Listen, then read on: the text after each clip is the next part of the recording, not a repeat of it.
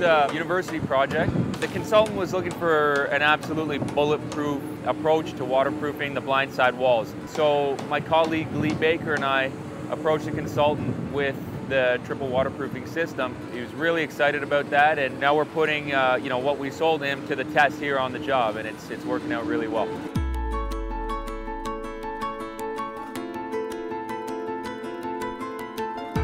Initially, we start with a bare wood lagging wall. Once that's okayed, the installer will take our TremDrain 1000 PF and install it on the wall. That drainage board will then connect to our total drain system, which is a one inch core, high flow drainage core down at the bottom of the wall, at the footing. This way, as the water is draining down the backside of the waterproofing system, it can flow directly into the dewatering system. In this case, we're gonna connect solid ABS pipes directly to the sump pit.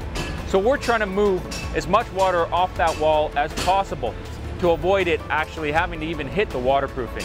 Should it breach that, we've installed Paraseal LG, which is 20 mils of high density polyethylene laminated to sodium bentonite. The unique thing about this system is that should water get past the high density polyethylene, should water get past the reactive sodium bentonite, we have a monolithic layer of 100 wet mils of TremProof 260. What that means is, as soon as the installer applies this TremProof 260, it's virtually cured instantly. So you have instant weather tightness, you've covered all of your penetrations, all of the fasteners, all of the seams, all of the detail work. It's really unique in that we're combining those two products to overcome some of the deficiencies in say a standard blindside sheet applied membrane. If it gets too wet, the bentonite can hydrate. By coating it with the TremProof 260, you've given it weatherability. That's a huge advantage in the construction phase. So we can do twice the height, for instance, what we're doing right here. We're going twice the height of this next concrete pour and getting more of the wall done in one shot. Less mobilization, get it done faster,